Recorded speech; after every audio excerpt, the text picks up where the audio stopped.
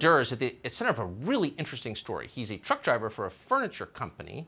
Most people had not heard of him outside of his immediate friends and family. Then, just the other day, he came out of nowhere to beat one of the most powerful politicians in the state of New Jersey, a machine politics state. That'd be the president of the New Jersey State Senate, a man called Steve Sweeney. Edward Durr spent $153 on his primary campaign. Now he's going to represent New Jersey's 3rd legislative district. Edward Durr joins us tonight. Mr. Durr, Senator, we're honored to have you on tonight.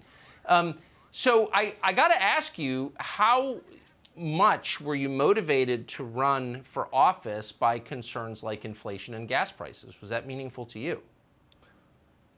Oh, well, everything's meaningful to me, but it, it just became a, as I keep telling people, a perfect storm. You, you not only had the high cost of living in the state, the worst tax rate, the worst business tax rate, it, you, you had people being told they couldn't live, they couldn't go to stores, they couldn't go to church. You had the nursing home deaths. It, it just became a, a combination of everything, and I got fed up with it. And I said, I'm not leaving the state. I'm going to fix the state. Well, that seems like a that's what I chose of, to do. I mean, that's a triumph of democracy, right? You know, it's a citizen who decides he wants a hand in running his government. But you weren't congratulated by a lot of media outlets. They immediately attacked you for saying naughty things on Twitter or whatever. Were you surprised that you weren't the subject of a feature film after this triumph?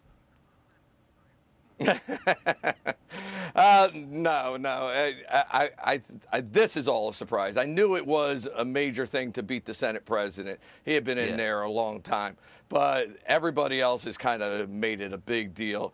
You know, I, I, had a lot of great people around me. I had my county chair, Jacci Vigilante, and my political director, Steve Cush, leading the path. And to be, I have to get it out there, Tucker. There was a lot of people who won, not just myself. You had my two right. running mates, Beth Ann McCarthy Patrick and Beth Sawyer, and then you had Nick DeSilvio and Chris Konawel, who won county commissioner, and then you had John Sammons, who won the first African American sheriff in our county.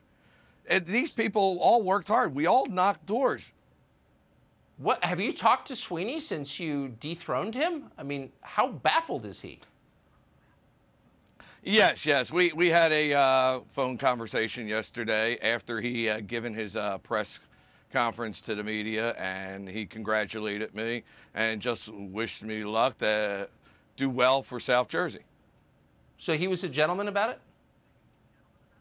Yeah, yeah, yeah. He he was a gentleman.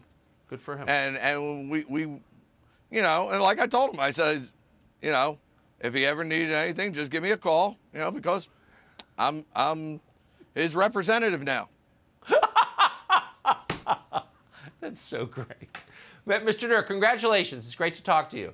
Thank you. Well, I just want to let everybody know if they ever want to, want to look me up, just go to edthetrucker.com. They can uh, find out more about me and help me out.